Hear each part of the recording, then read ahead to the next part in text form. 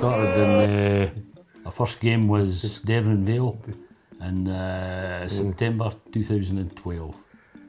The 12-13 season. We beat one nothing. But uh, fell in love, fell in love with the Locos. Well, I'm from Grangemouth originally, and my original team was East Stirlingshire.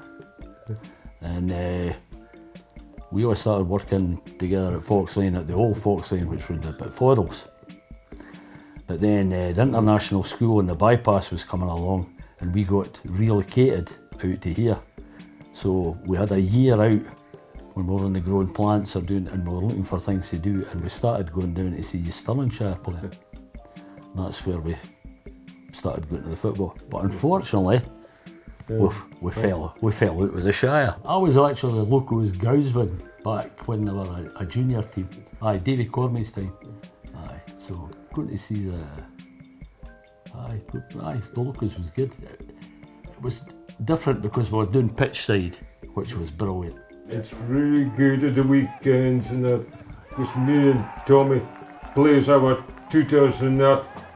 When we see our players scoring the goal and that. It was Tommy that came up with the name of the choppers. He said. Aye, we're heading we're heading down to we're down to Rosewell pre-season friendly, and we just decided to get the get the train down, and that was it. And we, we got all chuffed up and got the drums on the train and everything. And the Tommy says, "Aye, what the chuff chuffs." Goldie was my Aaron Goldie, but he's gone. And Aye, Goldie's my favourite player. So Nacho, Nacho, is Nacho's up there, you know. We have a we have a Nacho day. Nacho was to celebrate his uh, the greatest goal there's ever been. You see his goal against uh, Annan? The 4 4. Well, we were right behind the goals there, eh? I lost a drumstick. Uh, Still no come he always loses his drumstick all the times and that. And he, I've got a song for every player, you know. Sometimes it's a wee bit tricky coming up with new ones. We've got a couple of the new boys started. Uh, aye, Matty Peterman, uh, Jay Halliday, they've come up through the, the youth teams. So we've got songs for them. Got a song for uh, Big Gary Woods now. Uh, he's unsure, I think, of uh, his song, you know, but I think he'll get used to it. The vast majority of the, the fans seem to enjoy what we do, you know.